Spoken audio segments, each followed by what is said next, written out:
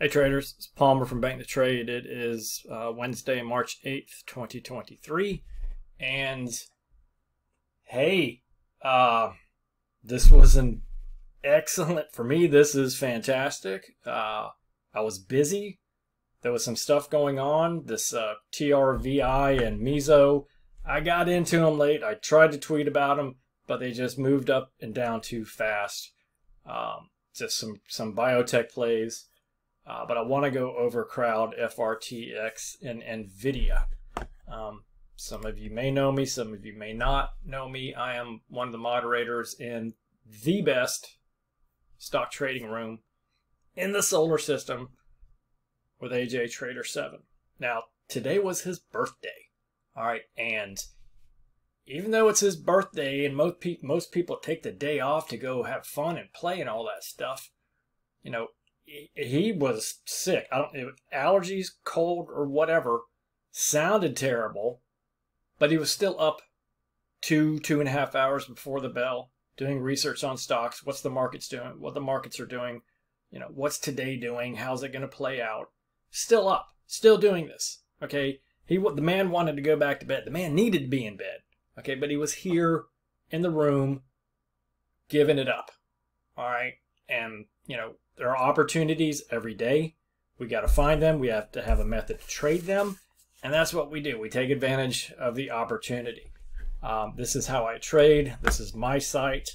There is free information on here about building a trading method from the ground up. You know, your day trading uh, setup. I focus a lot on, hey, Elena, uh, moving averages and whatnot as far as the slope, you know, volume and all that stuff coming in. I do have a video course, live one-on-one option available. Check it out. I'm not a salesman. That's what you want to do. Okay, so today, back to today. Crowd, FRTX, and NVIDIA. Let's start off with uh, the FRTX trade. All right, FRTX. It was gapping up uh, over 100% on phase one clinical study. AJ saying nothing more than a pop and slow fader gap fill. All right. Pop at the open at 360. Long if it pops to 360. Then look for some. Top it. Snaps three. Back to two and under. Okay. I see that kind of stuff. I'm on the short side. Okay. I want to be involved in this. Okay. IB Interactive Brokers had no shorts. Okay, so I talked to my buddy Jay, one of our mods, Freedom Trader. There are no shorts in Cobra also, either. Okay, so what does that mean? That means that if you have a stock that's up on, you know, fluffy news and it's making this kind of a move, if there are no shorts available, it can have a tendency to get either held up longer or it might put in a move to the upside, even though it's crap news. Okay. Crap, now I don't want to say crap news. It's, you know, if you're an investor five years from now, fine. But to be up 100%, over 100% on clinical study data, phase one, that's a little too much. All right. So, talking to my buddy Jay, there's no shorts. So I'm watching, watching, watching. IB opens up about six, I mean, uh, I'm with IB, Interactive Brokers. TOS opens up, think trade, TD Ameritrade opens up about six, right about here. Okay, but it's still holding. It's holding, holding, holding. All right. Then we get the volume push coming in. This is where I, I take a thousand just to just to give it a shot. If it's going to run, I know that at some point this is going to fade. I get what I can and I get out because I don't trust the move. Okay, I'm not going to be stupid and get in with 10,000 shares thinking it's going to go to 20 on this. It isn't. Okay, this is profit taking. Okay, there are no shorts available. Okay, this wasn't a short. People, they got money, they got paid, they're getting out. AJ said look for two and under. This was beautiful. Okay, this is awesome calls. This is what we do. Um, I don't know if Centerpoint might have had shorts, but uh, either way, the majority of people are, that want a short are with Cobra or IB. Um, so profit taking, beautiful move to the downside. I got in, got some, and got out. That was my play. Okay, NVIDIA. It was gapping up to, AJ says don't uh, look to take it long until it pops um, 234.75. Look for two points on it or more. Get out. Look for topping. If it snaps, 233 sell off. So 234.75. And the market started moving up as AJ is writing the notes. Okay, so that's something to be aware of. Okay, we pop through that at the open. Bam, that's the move if you got it and you're done. All right. What was going on, or in my opinion, okay, this was yesterday's move. Sold off into the close, started getting bought up a little bit, holding price, coming back up. All right. And NVIDIA has been in the news because of chat, GPT, GTQRX, whatever the hell you want to call it, and AI. And there's been talk, talk, talk that NVIDIA is going to be on the forefront. They're going to be the leader of all this stuff. Okay, so stock had to move to 241 yesterday. It was being talked about on CNBC for a while. Okay, so people are listening. Even no matter what they're right or wrong, all right, people are, you know, retailers are, they hear that stuff. Okay, and I'm listening to it. But the morning was kind of choppy after the open, but we had this, you know, you can call it a cup and handle, whatever you want to call it. It was just a big, one big, you know, bottom curl coming in like this. All right, so I'm watching the open, and we get this bam, bam. Okay, but we're back down to, I don't have anything on here. I don't have anything drawn, but you can see that that area by itself is an area, you know, to take note on. I, you know, if you want to, like, I like to think of these as areas, maybe not exact. It's prices. You've seen me do this before. Okay, I don't have fibs. I don't have pivots on here at all. I'm watching for this to clean up. And then we get this move up to 35. It goes three points quick. I'm getting in on this because Okay, zeroing in on this, these entry, these curl areas also. All right, and what do we have? We have the same thing that's going on on a smaller scale. Back to the upside. Okay, so I am taking some right in this area, get in, get out, and make a few. Quick rehash, had to check. Okay, this is what we did there. Crowd was the one I wanted. Crowd. Earnings beat, multiple upgrades. It's up 650. Don't look to go long. Pop it open at 132. It's popping as AJ's writing the notes. Look for 3 to 5, which is 135. Top it, take it down, bottom curl, slow bounce to the upside. Now, Jay Powell's talking also. All right. So he shook the markets yesterday. The algorithms are programmed to move on any keyword that the man talks about. All right. So the market is going to be you know, is on eggshells whenever he's talking. Okay, but AJ's looking for 135 on this. And sometimes, you know, this stuff, it just sticks out you, out at you. 135. Nice 135 even number right there. Okay, price hits it. And that's it.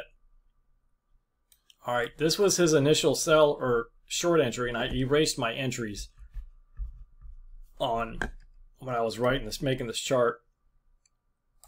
But um, I had to look for my my entries. I, I thought I posted that chart. I could have sworn I did. Okay, but we hit that 135 area, and there's a you know there's an obvious support area right in here. Okay, it's it you know it's it's as plain as day. All right, now the way I'm looking at these gap ups, you know, if I'm if I'm if I see the stock, it's up here, and I wake up the next day and it's right here, I'm like, do I want to buy it when it's already up? Okay. I want to, I've got a bias when I see a move like this. I want to take it down. Now, these will pop. Okay. It was settling in here and it popped four points from this area. Okay. If it hung up at this 134 and it opened at 134, could it have popped to 138? You don't know. Okay. But it made this have this move down here. It was bouncing off the support area. Here comes your volume at the open, slams this 135, and that was it. All right, so what I am watching, even though the trend, if you know, if you trade the momentum script, we're still up, okay, but we're gapping up big time on this, okay, and so this is where you have to apply what AJ goes over, all right, and trade the notes along with the stock. All right, because we're playing the open. We're playing the move here. All right. Stock gets uh, at 135, has trouble, has trouble. It starts to get weak. And I start taking some short right in this area or this area. Okay. It falls into the support area, has a little delay, and I add to my short here. All right. It's falling hard because the SPY's doing it also. And there is, you know, the bars are red because they are closing lower than the previous bar. Okay, to me that's weakness, all right? And the gas pedal's getting pushed to the sell side. I'm looking at 1700 bucks in about 15 minutes or so, and I am all out down here. I buy everything back. I don't care what it does from here. Because AJ is looking for, if it snaps 130, 2 to 4 point sell off, which is right in that area. So from there, you know, right in here, I just lose, lost my drawings. Uh, right in here, that was it. Bounce back up. All right. A nice long entry. When you hit that target area, you come up and you test it again and then make the curl up. This would have been a nice long entry to get back into the upside. Okay. You know, old school. One, two, three, break it, upside. That's that's you know archaic teaching right there. One, two, three, or an ABC on the way up. All right. That's all I did today because I wanted I wanted the you know this trend to clean itself up, and I made a, a comment to my buddy Dylan. He said he got chopped up a little bit, and I'm like, you know, this is and I'm doing I'm gonna do a video pre-market trading. That's coming out. I got some notes to put together because I want that to be right because there's a lot that goes along with it. All right. But a stock that's already up, what's the market doing? It's kind of iffy. All right. You see, you heard, remember what Powell said yesterday about we're not done. Okay. It, it's going to be bumpy, another bumpier road ahead. Give me some selling to get in. Let things start showing themselves and get in. Okay.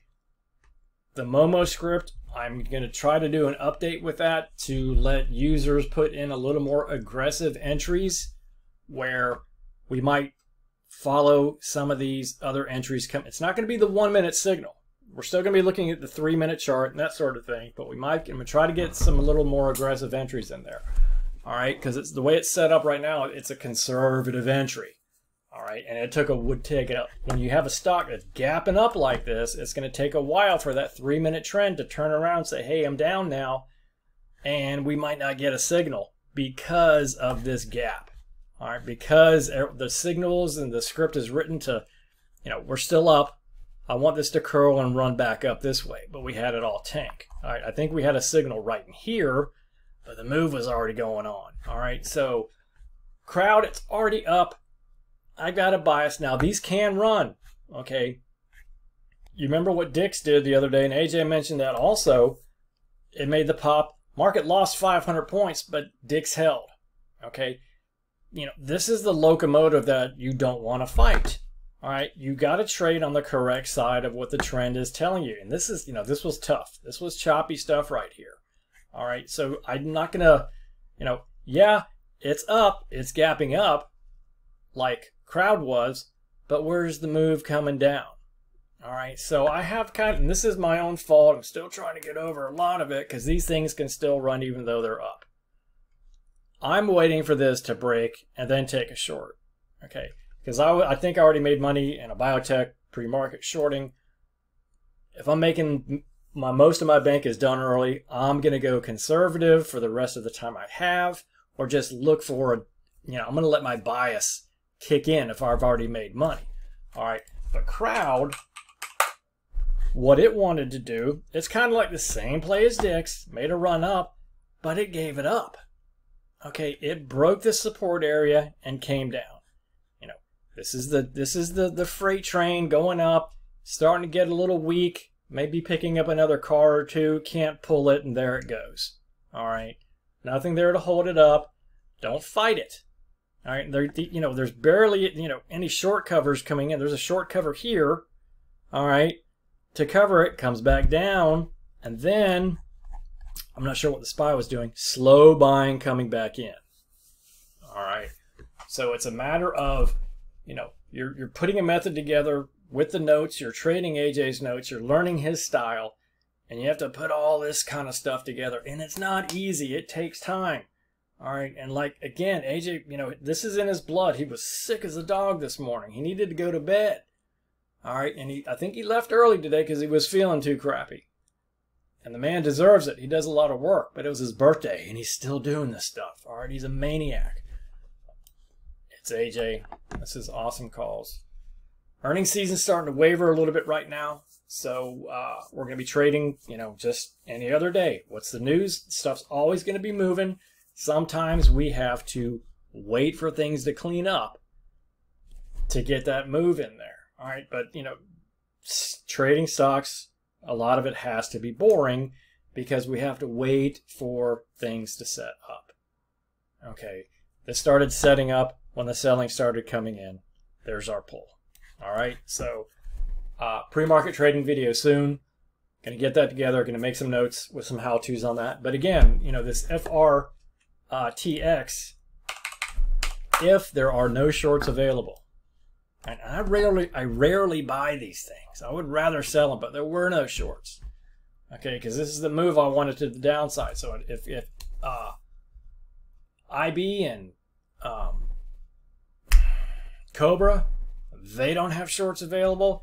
These things can get hung up even on fluffy PR news, and they can still get bought up. So when this volume came in, like, hey, okay, I'm gonna take some because this is, you know, 165,000, 100,000, 200,000 coming in pre-market.